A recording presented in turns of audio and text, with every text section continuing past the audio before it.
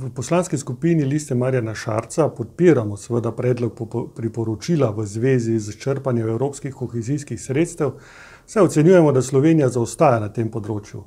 Zadeva še ni alarmantna, je pa čas, da pravočasno opozorimo na težave, ki nas pestijo že kar nekaj časa. Težave so tako na službi vlade za, črpanje teh sredstev kakor tudi na resornih ministrstvih.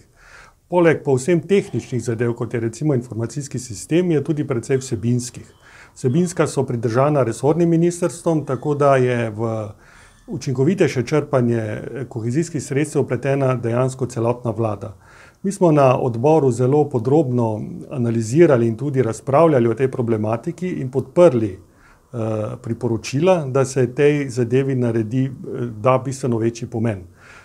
Ministrstvo, ki je najbolj odgovorno za to, brez listnice, to je služba vlade za za, evropske, za evropsko kohezijsko politiko, je pripravilo že osnutek akcijskega načrta in ga bo v tridesetih dneh dejansko tudi dokončalo in nam ga posredovalo v vednost, tako da bomo o njem najbrž še enkrat razpravljali.